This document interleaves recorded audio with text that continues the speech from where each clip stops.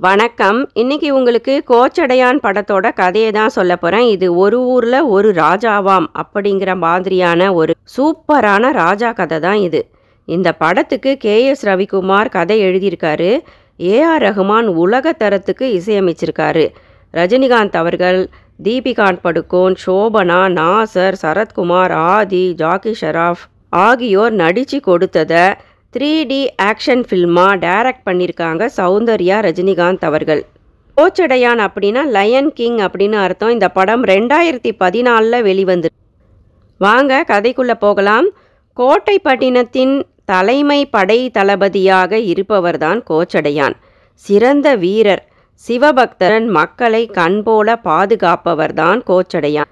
கோட்டைப்பட்டினத்தின் அரசர் உழைக்காமல் உண்டு உறங்கிக் கொண்டிருப்பதாலும் தான் தான் என்ற அவரது அகம்பாவ குணத்தாலும் பொதுமக்களிடையே அரசருக்கு துளியுமே மதிப்பில்லை. ஆனால் அதே வேளையில் கோட்டைப்பட்டினத்து படை தளபதி கோச்சடையானின் மீது மக்கள் மிகுந்த அன்புடன் மதிப்பு செலுத்துவது அரசருக்கு பிடிக்கவில்லை. தளபதி கோச்சடையானின் மதிப்பை எப்படியாவது மக்களிடம் குறைத்துவிட விரும்பினார் கோட்டைப்பட்டினத்து அரசர். கோச்சடையானுக்கு திருமணமாகி மனைவி மற்றும் ராணா சேனா என்ற இரட்டை மகன்களும் இப்போதுதான் பிறந்துள்ள ஒரு மகளும் உள்ளனர். கோச்சடையான் அருகிலுள்ள குறு நிலங்களை வெற்றி கொண்டதோடு பாரசீகத்து குதிரைகளுடன் வீரர்களுடன் கப்பலில் தாய்நாடான கோட்டைப்பட்டினத்தை நோக்கி திரும்பி வந்து கொண்டிருந்தார். அப்போது எதிரி நாடான கலிங்காபுரத்து சூழ்ச்சியாளர்கள் கோச்சடையானின் கப்பலை கடல் வழியாக ஊடுருவி கோட்டைப்பட்டினத்து வீரர்கள் உண்ண இருந்த உணவில் தந்திர சூழ்ச்சியினால் விஷத்தை கலந்துவிட்டு சென்று விடுகின்றனர். இதை அறியாமல் சாப்பிட்ட பல வீரர்கள் உயிருக்கு போராடி கொண்டிருந்தனர். படைத்தளபதி காவலன் கோச்சடையானோ விஷ உணவை உண்டு உயிருக்கு போராடி கொண்டிருந்த தனது வீரர்களின் உயிரை எப்படியாவது முதலில் காப்பாற்றிவிட துடித்தார். வேறு வழியின்றி அருகில் இருந்த ஒரே எதிரி நாடான கலிங்காப்பூருக்கு கப்பலை செலுத்தி கலிங்கத்து அரசரிடம் வீரர்களின் உயிரையெல்லாம் காப்பாற்றி உதவும்படி நாடினார். கலிங்கத்து நாட்டு மருத்துவர்கள் கோச்சடையானின் கோட்டைப்பட்டினத்து வீரர்களை மாற்று மருந்து உடனே கொடுத்து காப்பாற்றி விடுகின்றனர். ஆனால் உயிர் பிழைத்த வீரர்களை தங்களது கலிங்காப்பூர் நாட்டில் அடிமைகளாக விட்டு செல்ல வேண்டுமென்று கட்டளையிட்டவுடன் வேறு வழியின்றி நிராயுத பாணியாக படை தளபதி கோச்சடையான் தனது நாட்டிற்கு தனியே திரும்பி வந்தார். கோட்டைப்பட்டின அரசரிடம் வந்து கோச்சடையான் மன்னிப்பு கேட்டுக்கொண்டதோடு தன்னுடன் படை வீரர்களை அனுப்பி வைத்தால் உடனே சென்று உயிருடனாவது இருக்கட்டும் என்று அடிமைகளாக எதிரி நாட்டில் விட்டு வைத்துள்ள வீரர்களை போரிட்டு காப்பாற்ற ஒரு சந்தர்ப்பம் தரும்படி கெஞ்சுகிறார் படை தளபதி கோச்சடையான்.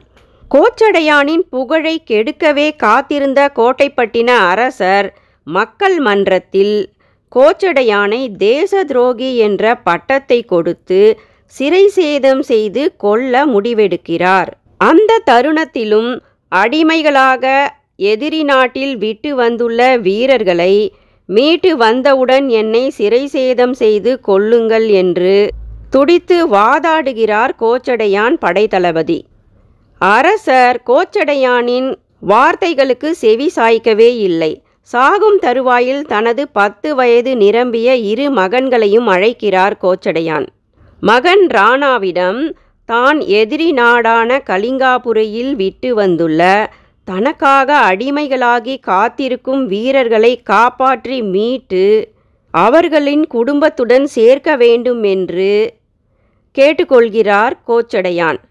அதே வேளையில் கோச்சடையான் தனது மற்றுமொரு மகனான சேனாவிடம் நாட்டையும் நாட்டு மக்களையும் பாதுகாப்பாக காப்பாற்ற வேண்டுமென்று கட்டளையிடுகிறார். வீரமிகு படை தளபதியான தந்தை கோச்சடையான் கொல்லப்பட்ட அடுத்த நொடியே ராணா நீரில் குதித்து கலிங்காபுரியை நோக்கிச் சென்று அங்கு சிறுவர் பாசறையில் சேர்ந்து ராணா படை வீரனாக போர் பயிற்சிகள் கற்று உடலை உரமேற்றி அந்த கலிங்காபூர் நாட்டு படை தளபதியாகவே பதவியேற்று பல வெற்றிகளை அந்த நாட்டிற்கும் தேடி தந்து அரசர் மற்றும் பட்டத்து இளவரசரின் நன்மதிப்பை பெறுகிறார் ராணா. எதிரி நாடான கலிங்காபுரியின் நாட்டிற்கு படை தளபதியாக உருவெடுத்துள்ள ராணா இப்போது தனது பேச்சுக்கு அந்த அரசில் நல்ல மதிப்பு உண்டாகும் அளவுக்கு தன்னை உழைப்பால் உயர்த்தி கொள்கிறார். இப்போது பல ஆண்டுகள் அடிமைகளாக அவதிப்பட்டு கொண்டிருக்கும் தனது தாய்நாட்டு கோட்டைப்பட்டினத்து வீரர்களை மீட்டு அவர்களை கலிங்காப்பூர் போர்படையில் சேர்த்து கொண்டு அவர்களுக்கு நல்ல உணவு கொடுத்து அவர்களை உரமேற்றுகிறார் ராணா. கலிங்காப்பூர் அரசரிடம் அனுமதி பெற்று இப்போது கோட்டைப்பட்டினத்தின் மீது போரிட வீரர்களை எல்லைக்கு அழைத்து வந்தார் ராணா. இரு நாட்டு எல்லையில் தனது கலிங்காப்பூர் படையை தலைமை ஏற்று நடத்தி வந்த ராணா படை வீரர்களாகி போன கோட்டைப்பட்டினத்து அடிமைகளை தாய் நாடான கோட்டைப்பட்டினத்திற்கு கொண்டு வந்து சேர்த்தே விட்டார். தந்தைக்கு கொடுத்த வாக்கை சாதுரியமாக காப்பாற்றிவிட்டார் ராணா. மீதமுள்ள கலிங்கத்து வீரர்களை கலிங்கத்துக்கே திருப்பி அனுப்பிவிடுகிறார் ராணா. இப்போது ராணாவின் சூழ்ச்சியால் ஏமாந்த கலிங்காபுரி அரசர் ராணாவை பழிவாங்க காத்திருக்கிறார். இங்கு கோட்டைப்பட்டினத்திற்கு பதினைந்து ஆண்டுகள் கழித்து அடிமைகளாகி போன வீரர்களை மீட்டெடுத்து வந்த ராணாவுக்கு மக்களிடையே பலத்த வரவேற்பு கிடைக்கிறது. கோட்டைப்பட்டினத்து அரசருக்கு இப்போது திருமண வயதில் மகனும் மகளும் உள்ளனர். அரசரும் ராணாவை வரவேற்கிறார் அன்பாக. கோட்டைப்பட்டினத்து அரசர் இப்போது ராணாவை பாராட்டி கோட்டைப்பட்டினத்து படை தளபதியாக அவருக்கு பதவியையும் கொடுக்கிறார். அந்த கோட்டைப்பட்டின நாட்டிற்கு அப்போது நல்ல ஒரு வீரன் அவசியமாக இருந்தது. நாட்டிற்காக பிறகு ராணா பல வெற்றிகளை அள்ளி கொடுக்கிறார். நாடும் விரிவடைந்து மக்களும் சந்தோஷமாக வளமாக இருக்கின்றனர் ராணாவால். அங்கு ராணாவின் தாயாரோ பல வருடங்களுக்கு முன்பே இறந்து விட்டிருந்தார் ராணாவின் சகோதரன் சேனா எங்கோ சென்று விட்டார் ராணாவின் தங்கையை தாய்மாமன் வளர்த்து வந்திருக்கிறார். ராணாவின் தங்கை கோட்டைப்பட்டினத்து இளவரசரை காதலித்து மணந்தாள். கோட்டைப்பட்டினத்து இளவரசியோ வதனா. பெயருக்கு ஏற்றபடி மிக அழகு சிறந்த வீராங்கனை அவள். இளவரசி வதனா வீரன் ராணாவை விரும்புகிறாள். ராணாவும் இளவரசியும் காதலிக்க ஆரம்பித்து விட்டனர் இப்போது. எல்லாம் நலமாகவே சென்று கொண்டிருந்தது. தந்தை கோச்சடையானை கொன்ற அரசரின் மீது கோபம் தணியாத ராணாவோ மாறு வேடத்தில் கோட்டைப்பட்டினத்து அரசரை பலமுறை கொல்ல முயற்சிக்கிறார் முடியவில்லை. தன் தந்தை கோச்சடையானை தேச துரோகி என்று அழைத்து சிறை சேதம் செய்த அரசனை பழிவாங்க துடித்த ராணா ஒரு தருணத்தில் ராணா பிடிபட்டு விடுகிறார். அரசனை கொல்ல முயன்ற குற்றத்திற்காக சிறையில் அடைக்கப்படுகிறார் ராணா. ராணாவின் காதலி வதனாவுக்கு தந்தையின் அராஜக குணம் நன்றாகவே தெரியும். எனவே உண்மை அறிந்த வதனா தன் காதலன் ராணாவின் பக்கமே நிற்கிறாள். மக்களின் பேராதரவை பெற்ற ராணாவை அரசரால் கொல்ல முடியவில்லை.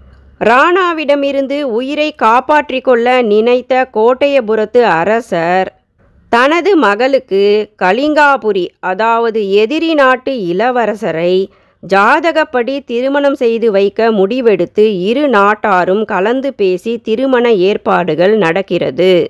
அப்போது சிறையிலிருந்து தப்பித்த ராணா தான் காப்பாற்றி வந்த அந்த அடிமைகள் நிறைந்த கோட்டைப்புறத்து படை வீரர்களை தன் பக்கம் திரட்டி அராஜக கோட்டையபுரத்து அரசனையும் தன்னை பழிவாங்க துடித்து கொண்டிருந்த கலிங்கத்து அரசனையும் கொன்றுவிடுகிறார் போரில். இப்போது முடிசூடா மன்னனாக தனது காதலியை கைப்பிடிக்கிறார் ராணா. அப்போது எங்கிருந்தோ குதிரையில் கம்பீரமாய் சிறந்த வீரனாகி போன சேனா வந்திறங்குகிறார். தந்தை கோச்சடையான் சேனாவுக்கு கொடுத்த பணியானது நாட்டையும் நாட்டு மக்களையும் காப்பாற்ற வேண்டுமென்று. அதை நிறைவேற்றவே வந்துவிட்டார் சேனா இப்போது கோட்டைப்பட்டினத்திற்கு. நன்றி. இந்த காணொளி உங்களுக்கு பிடிச்சிருந்ததுன்னா தயவு செய்து லைக் பண்ணி சப்ஸ்கிரைப் பண்ணுங்க. நன்றி.